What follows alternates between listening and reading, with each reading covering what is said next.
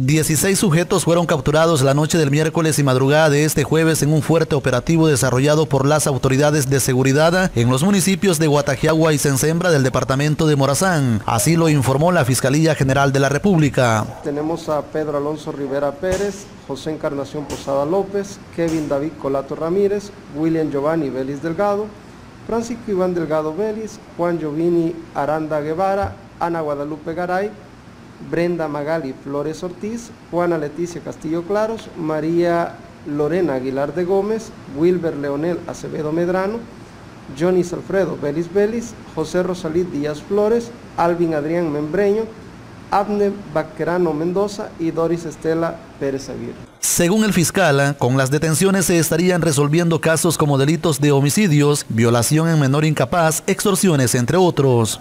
Esclarecer eh, delitos de organización terrorista, extorsión agravada, proposición y conspiración en el delito de homicidio y violación menor o incapaz, logrando lo que es este, como un resultado positivo la captura de 16 personas. Con el operativo efectuado por la Policía Nacional Civil en coordinación con la Fiscalía, se ha desarticulado una de las clicas de la pandilla MS que opera en la zona, según lo dijo el fiscal.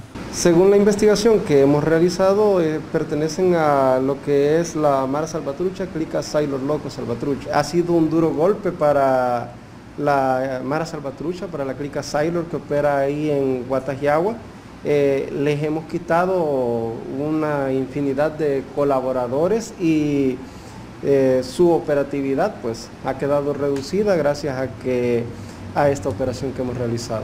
Se han incautado lo que es eh, teléfonos celulares con los cuales pues, se pretende obtener información valiosa para la investigación.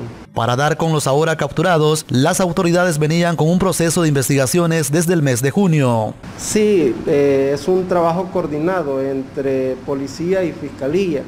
Como le digo, esto es una investigación previa que se tenía eh, de varios meses y con lo cual pues hemos logrado individualizar a estas personas y vamos a esclarecer esos delitos. De manera simultánea, se realizaron los operativos en diferentes departamentos del país. En las próximas horas, los detenidos serán llevados a los tribunales para comparecer por los delitos que se les atribuyen según las autoridades. Con imágenes de Pablo Sagastume, Benet Castillo, Noticiero Telemás.